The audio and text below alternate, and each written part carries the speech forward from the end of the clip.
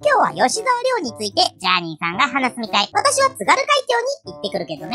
バイバイ。ちょ待てよ。ちょっとゆうたちに話を聞いてほしいんだけど、いいよ超絶イケメン俳優の吉沢亮くんいるじゃない？いるね。通り部のマイキー。中学時代はそこどモテたらしいわよ。そりゃそうでしょ。あの顔だもん。中学時代は見た目がそのままモテヒエラルキーを形成する残酷な世界だものね。高校になると、おしゃれ感とかダンスができるみたいなサブスクが発動するけどね。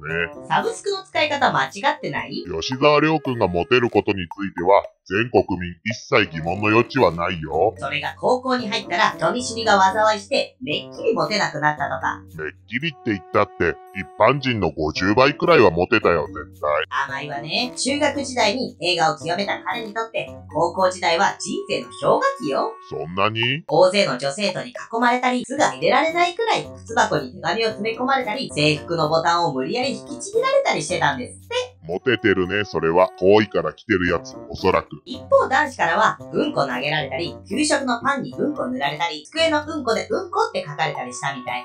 それだけのうんこを調達してた男子生徒たちが気の毒でたまらない。仕方ないわよね。モテる人間は同性に嫌われるから。モテって突き抜けると一周回って同性も味方になるからね。俺なんか女性男性はもちろん、種を超えて魚類からのモテ具合半端ないし。釣り名人ってことだね。自分のモテ歴史を堂々と語れる俳優って潔くて素敵よね。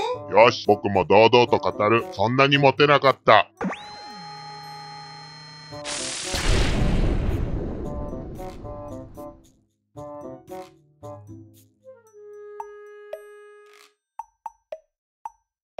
uh you. -huh.